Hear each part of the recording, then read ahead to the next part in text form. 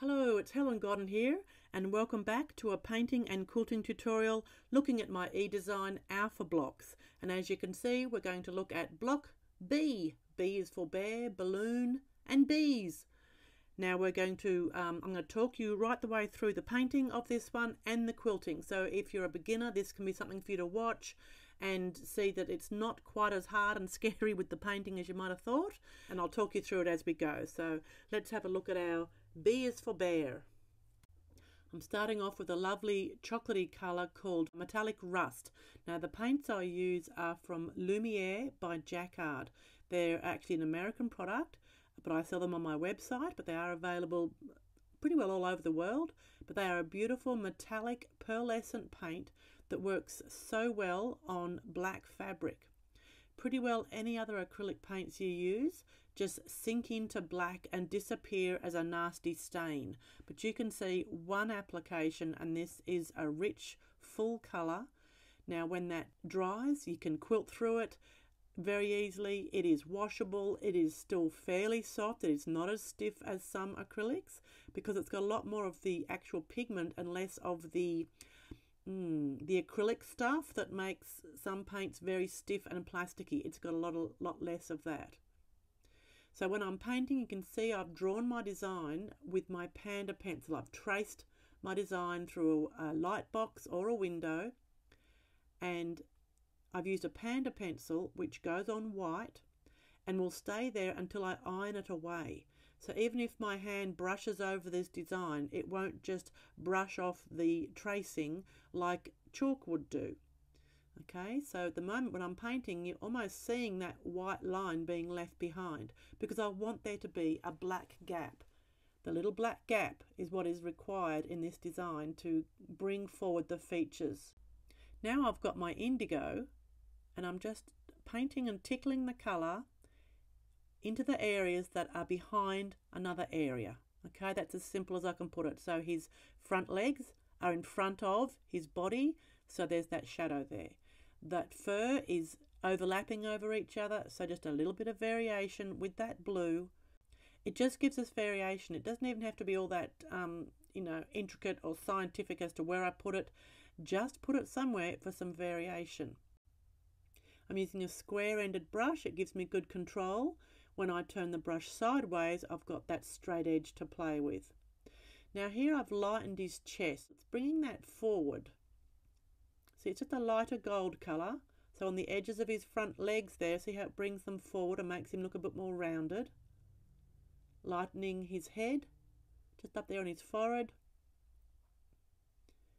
And it can be a little bit brushy because he's a bit furry. There we go. See how that's just lifting those areas giving it a bit more depth to make him look big and bulky. Now there you go, see how I darkened it there? It now sits back underneath his chin. Because a bear isn't worried about a double chin, unlike some of us. this is a beautiful copper colour, like I cannot get enough of that, look at it. Love it. Okay, so a lovely rich copper colour because I know at this point I've decided my background is going to be blue, which is going to make the bear look really good. So the blue for, is for the bear and then the copper is basically orange. So that's going to look really good up against the blue. Okay, so that's how I plan things of which colour, you know, is going to bring it all to life. I wouldn't want to have all brown colours with the bear, like brown, brown, and brown. You know, you want to have some contrast so that you can um, see the various elements.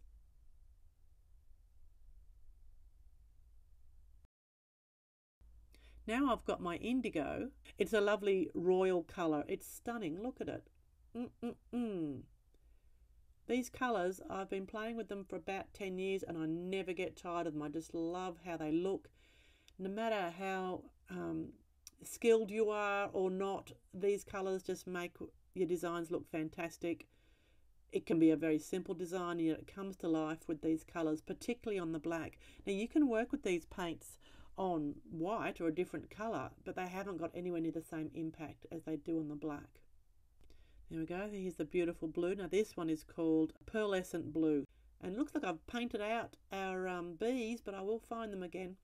And you can see I paint way over the edge because I know when I trim this block back, I want that paint to be right out to the edge so that I don't have to worry about a little patch that I missed. Okay, so I can be pretty rough around the edges there, which pretty well sums me up. And then I've got the beautiful magenta for the balloon, the lovely pink. So he's a big bear, but he's got a, a little soft fem feminine part where he just likes his pink balloon. A little bit of the bottom there. What's going to come next? Oh, I've got the black. Oh, look at that. See? There we go. Just giving giving him an eyebrow. It just changes everything. Look at that. Little nose. Oh, I've lightened it a little bit. And the little highlight on his eyes. There he is, watching that balloon. Oh, we had to find the bees. So I've painted some little wings with white and their bodies in the yellow and they will come to life with the stitching. And then on the bee, I'm going with some turquoise triangles. Now I like those to be half a triangle, like overlapping over the edge sometimes, being cut off by the edge sometimes, so that it looks like a piece of fabric with blue triangles that I happen to applique on for this block. There we go. I think it's almost time for drying time. Oh, another eyebrow. Look at that. Hello. right, so now he's nice and dry, and I've ironed him and I've sandwiched him, and uh, now he's underneath that needle. And we're stitching around in those black gaps with my black thread. Now I tend to use black thread the whole time. Some some of you might think, well, why doesn't she jump into a brown thread on the brown bear or something? Because with these paints, when I stitch, where the needle goes into the paint, it will leave a hole. When you quilt on normal fabric, the hole that the needle makes sort of closes up and self heals, you know, five minutes after you've finished the job. That's not the case when we stitch on paint. When that needle goes in, it's going to leave a hole. Okay, so if I stitched brown on the brown bear and the brown was a really good match and it sunk into the colour of the brown paint, visually all I'd be left with is a series of black dots everywhere, looking like acne. It's not a good look, not even for a bear. Okay, so I tend to go with the black. It gives the whole design impact and strength. It brings back the initial design, which looked so good in the, you know, black Sharpie marker. Well, it brings back that strong design element to the piece so that no matter what colours you painted it, the strong design is still there and basically I'm lazy. I just leave the black on my machine. Truth be known. So you can see how I use those black ditches, those black gaps that I left in the painting is where I travel to move somewhere. Okay, so now I'm finding the string of the balloon. There it goes. And wherever uh, one area touches the next, I just move on to that shape so that I'm minimizing how many times I'm cutting that thread and having to deal with that end. So I like to be very clever and see if I can attach, attach myself to every shape without doing the occasional jump stitch. Okay, but sometimes you do have to, but that's okay. A few jump stitches there to, to cut out later.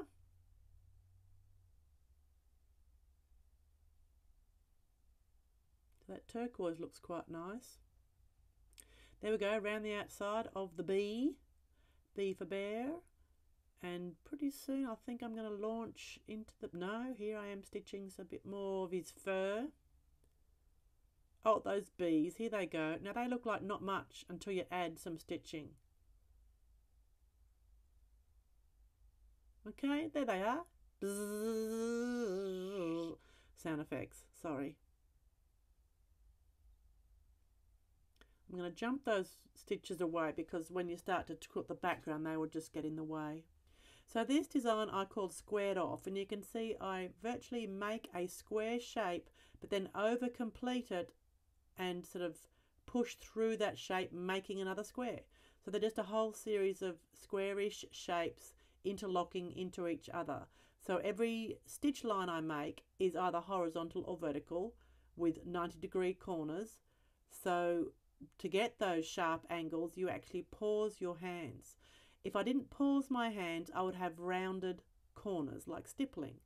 But although this video is going fast, I'm actually pausing my hands just for a split second each time I change direction and then I get that sharp, distinct corner, that change of direction in the 90 degrees. The same way as if you were drawing that on paper, you would actually pause your hands. So I would suggest you draw this on paper and get the pattern sort of going in your mind. So you've got the mantra in your head of how to make this pattern, and then you can go and work it on the background.